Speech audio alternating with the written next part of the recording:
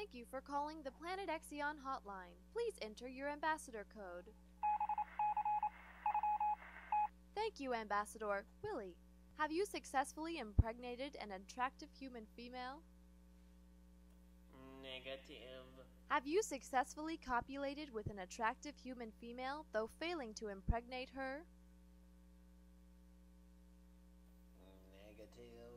Have you successfully encountered an attractive human female who may be interested in engaging in sexual activities with you? Negative. Ambassador Willy, your mission will be aborted if you fail to impregnate an attractive human female in the next 24 hours.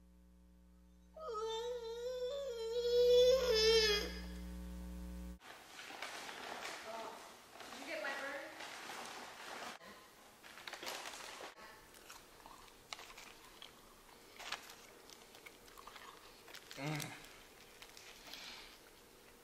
I love In and Out. Mm, Master Coach, it is imperative that I speak with you immediately. Okay. In private. Okay, Willy.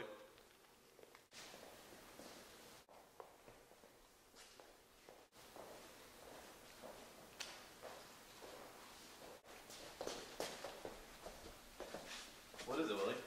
Master Coach, please show me how to impregnate an attractive human female. Willy, you cracked me up. Mm, yes. All right, I'm gonna show you just this once, okay? All right.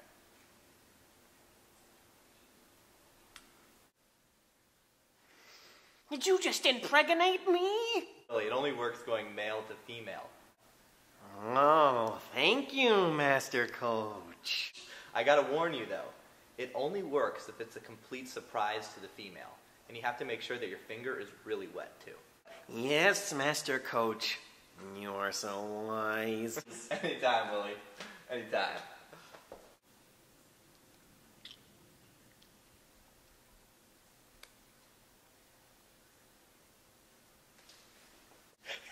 Come on.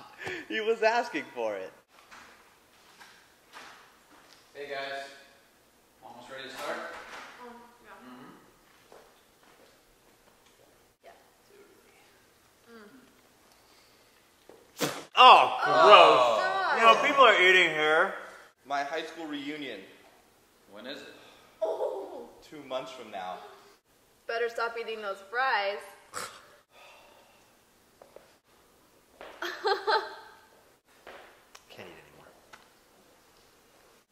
So apparently, when Robbie graduated high school, he signed an agreement with his hockey coach that he would be in as good or better shape as when he graduated by his 10th reunion. And if he didn't make weight, well, I would donate my life savings to the school so they could buy a new computer for every single student. It seemed like such a good idea at the time. Okay guys, let's get started. Robbie, you ready? No, you take this one, Brian. Okay then. Um, so how you guys doing this afternoon? I have successfully learned how to impregnate a human female. You didn't know how to do that. Fellow student, back on my home planet of Exion, the mating traditions vary considerably.